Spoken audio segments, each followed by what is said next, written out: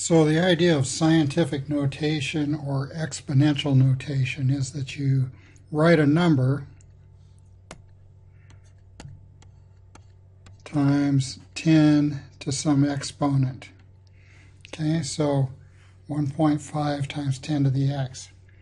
This is a way to present large and small numbers accurately and clearly.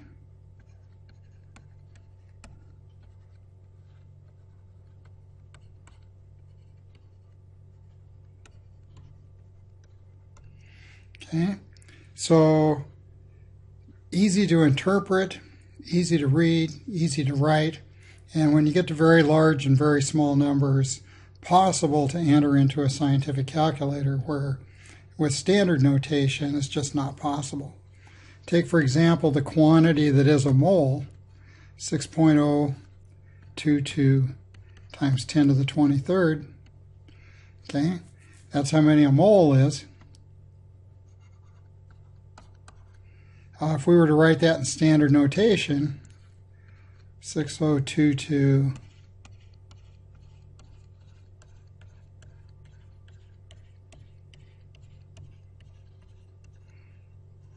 Okay, I think I got that right. It's uh, it's difficult to read. It's certainly difficult to write. Uh, this is this is cumbersome, hard to work with. 6.02 times 10 to the 23rd, you can see that that's a very large number. Uh, if you take the mass of a helium atom versus the mass of a calcium atom, uh, so now we're going to look at some very small numbers. Okay? When you have small numbers, the exponent's negative. So if x is negative, if the 10 to the x, if the x is negative, then you have a very small number. If the x is positive, you have a large number. So a helium atom, one's helium atom, has a mass of 6.65 times 10 to the minus 24 grams. That's a negative 24 grams. A calcium atom is 10 times as massive. That's 6.65 times 10 to the negative 23rd grams. Okay? Very easy to tell which is which when you're looking at the scientific notation because you can just look at this exponent here and see that 24 is different than 23. Now if I was to write these in standard notation and honestly I don't even feel like it but I'll see what I can do.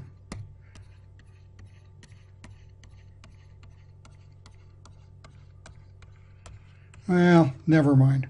Okay, it's going to take a lot of zeros, and it's going to be very hard to tell the difference between one and the other. Okay, so so that's the reason that we use scientific notation. It is critical that you always have a single digit followed by your exponent, followed by the exponential.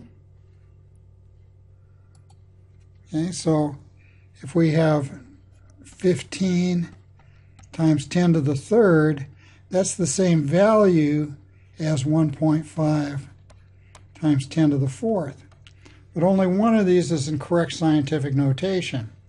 And I think you know which one. It's this one. That's correct scientific notation. This one, not correct. The quantity is the same. Okay the rule I remember is if I want to convert 35 times 10 to the second to scientific notation, I make this one larger, or make that one smaller, 3.5 times 10 to the third, and I make my exponent 1 larger. So if I make my multiplier smaller, I need to make my exponent larger. Okay, so that's that's kind of the idea there. Um, if you need to add, if you need to add and subtract numbers in scientific notation,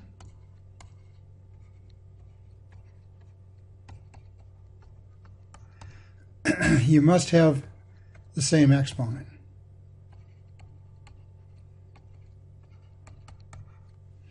Okay, so so if I want to combine, well, let's just use these numbers above. 3.5 times 10 to the third plus 35 times 10 to the second.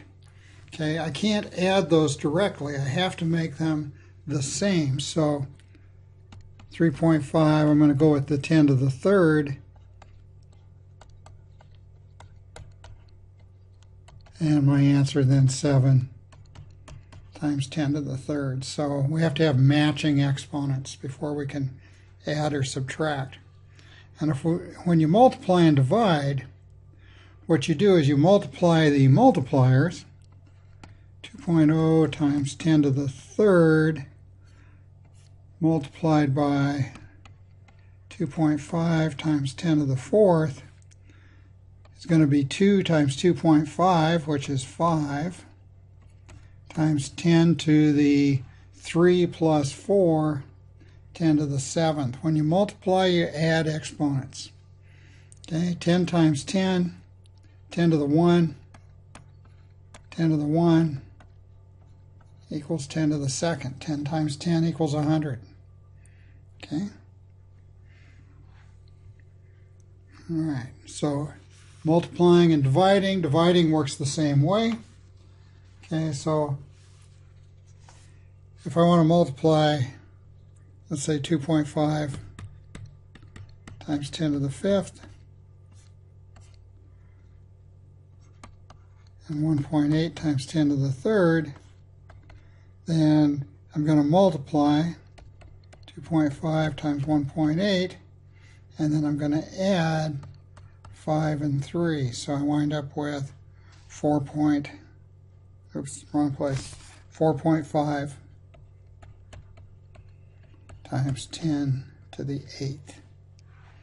Okay, so this becomes a 4.5. The exponents add up to the 8. Okay. When you're dividing, same thing. Now I'm going to divide 2.5 times 10 to the fifth divided by 1.8 times 10 to the third. Now I'm going to subtract exponents. So I'm going to have 2.5 over 1.8 times 10 to the 5 minus 3. Okay, so this gives me 1.4 times 10 to the second. Okay, so those are some examples of using scientific notation.